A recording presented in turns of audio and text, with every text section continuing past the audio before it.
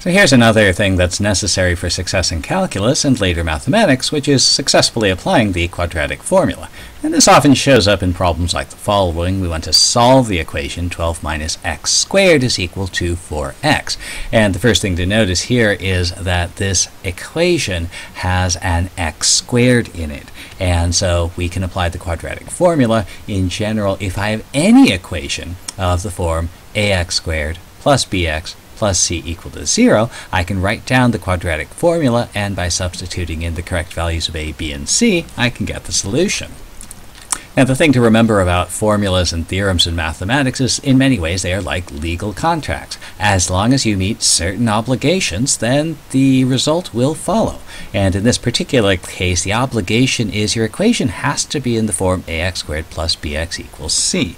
And this is not. This is in a different form. So our very first step, we have to get our equation into the necessary form, and that means that we have to do a little bit of algebra. So here, all of our terms are on one side of the equation. We have 0 on the other, so let's move that 4x over.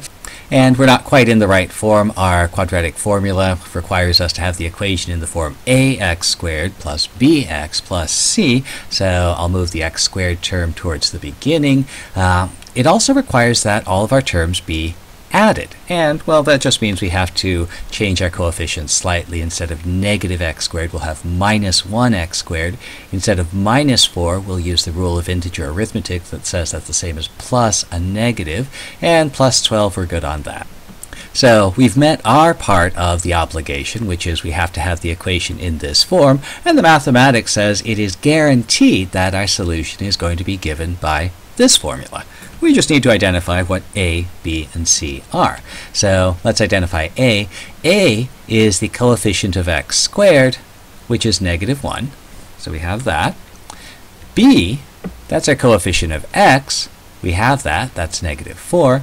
And then C is the thing that we're adding that is not an x term, not an x squared term. That's our positive 12. So we have a equal to negative 1, b equal to negative 4, and c equal to 12. And I can substitute those into the quadratic formula to get my solutions.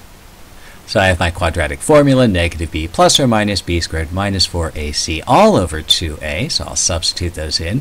Here's b is negative 4 twice, a is negative 1 twice, and C just appears in this one location.